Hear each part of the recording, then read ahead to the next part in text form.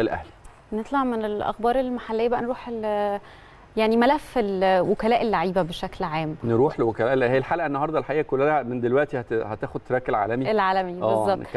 الحقيقة إنه. طبعا معروف قد إيه وكلاء اللعيبة يعني بيلعبوا دور مهم جدا في حياتهم الشخصية والمهنية ومشوارهم الاحترافي. يمكن من أبرز ال الوكلاء في العالم هو رايولا. رايولا عنده القدرة مينو رايولا عنده القدرة إن هو يسوق أي لاعب ب- ب- بأسعار كبيرة جدا ومعروف عنه مواقف كتيرة قوي آه، يعني يتعمل لها حلقات. هو الحقيقة كمان وكيل آه، اللاعب آه، الهولندي وكيل اللاعب هالاند طبعا آه، وبيقدر إن هو يسوقه بشكل كبير وكمان والد آه، هالاند يعتبر كمان شريك في صفقات آه، انتقاله يمكن انتقال هالاند بشكل مفاجئ لبروسيا دورتموند آه، جاي من سالزبورغ النمساوي بعد انسحاب يوفنتوس ومانشستر آه، يونايتد من الصفقة بسبب مطالب رايولا المالية الكبيرة. حصل على 15 مليون يورو عمولة من النادي الألماني اللي دفع كمان 8 ملايين يورو لوالد اللاعب مش بس لوكيله. رايولا يعني دايما بيبقى عايز يضاعف المبلغ علشان يوصل ل 30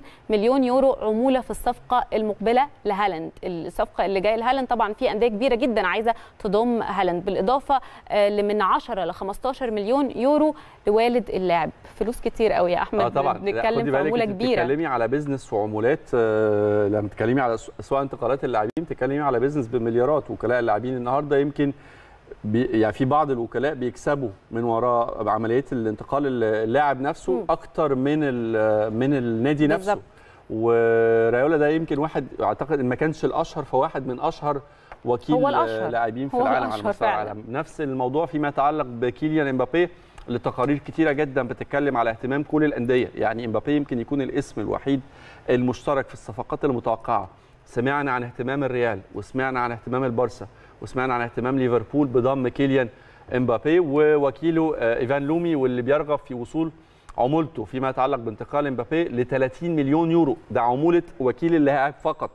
في الاتفاق اللي جاي طبعا بالنسبة لمستقبل فرنسا في كرة القدم امبابي واللي بيتصارع عليه زي ما قلت لحضراتكم آه، بشكل واضح وقوي دلوقتي في في رغبة ونية واضحة وصريحة من الريال ومن ليفربول. طبعا معظمنا عارف وكيل اللاعب المصري محمد صلاح هو وكيله كولومبي من أصل لبناني رامي عباس. هدفه الأول تحسين وضعه في ليفربول الإنجليزي في ظل طبعا تأثر سوء الانتقالات الفترة دي بتداعيات فيروس كورونا من الناحية الاقتصادية والظروف اللي بتمر بيها الأندية الكبرى من خسائر آه، في ميزانيتها بعد فيروس كورونا. حال تحرك سوق الانتقالات بيرتبط موقف صلاح بنجوم الصف الأول زي إمبابي ورونالدو وميسي وأي خطوة. لأي حد فيهم هتكون مفتاح تحركات وكيل صلاح علشان يحصل على عائد أكبر. محمد صلاح بيقترب دلوقتي من إن هو يتم 29 سنة وعنده فرصة إن هو ينتقل بمبلغ ضخم قبل انتهاء آه، التعاقد بتاعه أو عقده مع ليفربول اللي عايز طبعا يحافظ عليه هو كمان ويستثمر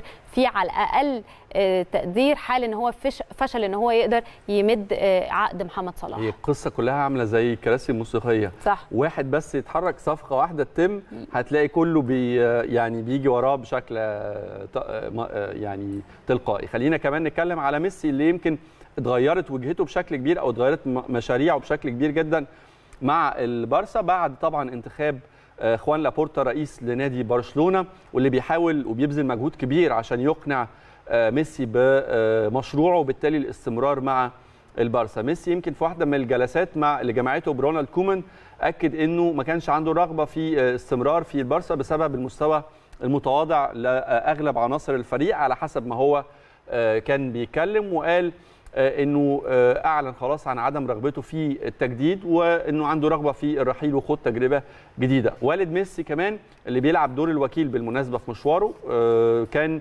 بيتكلم على أو قال إنه هيحدد نسبة كبيرة جدا فيما يتعلق بقرار الاستمرار أو الرحيل وهيكون ليه دور آه، في ده. يمكن من الأندية اللي مستنية بشكل كبير أو بتترقب الموقف بالنسبة لميسي باريس سان جيرمان اللي حطت عينه بشكل كبير على جوهرة الأرجنتين وكمان يمكن كان من بعيد وإن كان في الفترة ال- الأخيرة يمكن اتغيرت الرغبة لكن مانشستر سيتي كان أبدى اهتمامه كمان بضم ليونيل ميسي.